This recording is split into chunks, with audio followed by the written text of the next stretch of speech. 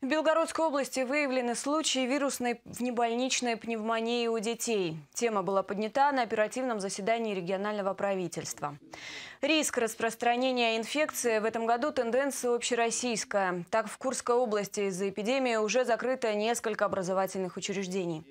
Наталья Зубарева, заместитель губернатора по здравоохранению и образованию, заявила, что главная цель сегодня – не допустить аналогичной ситуации в регионе и рекомендовала учебным заведениям уже сейчас принимать меры.